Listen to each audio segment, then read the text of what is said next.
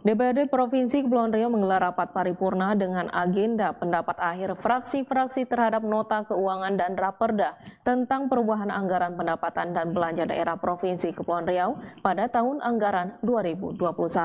Rapat tersebut berlangsung pada Rabu pagi, mayoritas fraksi menyetujui disahkannya raperda tersebut.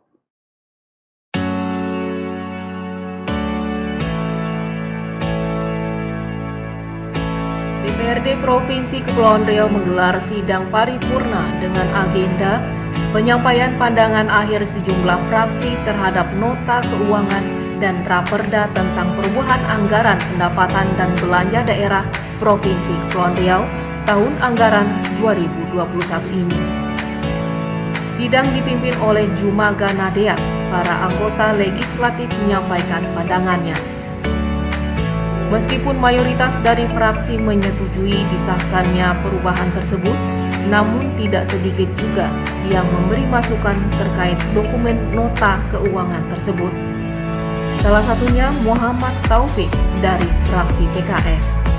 Politisi Dapil Karimun ini pun menyoroti terkait kurang lengkapnya draft dokumen pada nota keuangan serta pembahasan berkenaan dengan hal tersebut selalu memasuki masa injury time. Sehingga ia menilai pembahasan yang mepet tersebut berdampak kurang optimalnya pembahasan tersebut. tahun anggaran 2021 ini masih sama dengan tahun-tahun sebelumnya, yaitu memiliki kelemahan terkait dengan kelengkapan dokumen dan waktu pembahasan yang. Pembahasan yang selalu pada injury time sehingga membuat tahapan pembahasan yang dilewati tidak cukup optimal dalam membahas RAPJP secara detail. Berdasarkan peraturan Menteri Dalam Negeri nomor 64 tahun 2020 tentang pedoman penyusunan APBD tahun anggaran 2021 tidak dipindahkan, perlu dilengkapi dokumen kebijakan umum perubahan anggaran dan RKPBP tahun anggaran 2021 itu dapat mendukung fungsi penganggaran dan legislasi terhadap nota keuangan dan RKPBP tahun anggaran 2021. Senada dengan hal tersebut, anggota DPRD dari Dapil Tanjung Pinang Bobi Jayanto bahkan menilai hal tersebut dapat berdampak kepada sasaran tujuan pembangunan. Di luar daripada itu, politisi Nasdem ini juga meminta Dinas Kesehatan Provinsi untuk belanja terutama pembayaran tagihan jam kesda agar dapat diselaraskan dengan pengeluaran APBD perubahan tahun 2021 ini. Begitupun juga jam kesra fraksi Nasdem mencatat bahwa belanja tersebut mengalami peningkatan. Kemudian Bobi Jayanto mengimbau pemerintah Provinsi Kepulauan Riau untuk berupaya dengan maksimal dan melakukan langkah-langkah yang konkret dalam merebut pengelolaan jasa labu jangkar yang saat ini masih dikelola pemerintah pusat, seperti menempuh jalur hukum. Dan optimalnya pembahasan perubahan APBD 2021 ini sesuai dengan norma, standar dan prosedur yang diharapkan pada tahun pertama RPJMD RP 2021-2026.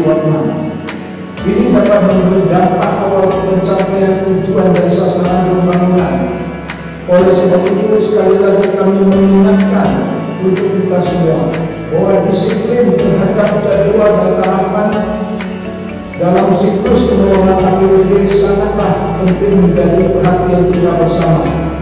Sebab hanya dengan disiplin itulah kita secara bersama-sama dapat menjaga sinkronisasi capaian kinerja keuangan daerah memenuhi target-target kebijakan penganggaran yang telah ditetapkan aturan perundang-undangan sudah semestinya sudah gubernur beserta tim bisa melakukan langkah-langkah yang diperlukan untuk meyakinkan pemerintah pusat agar pemanfaatan radius 12 mil laut kita untuk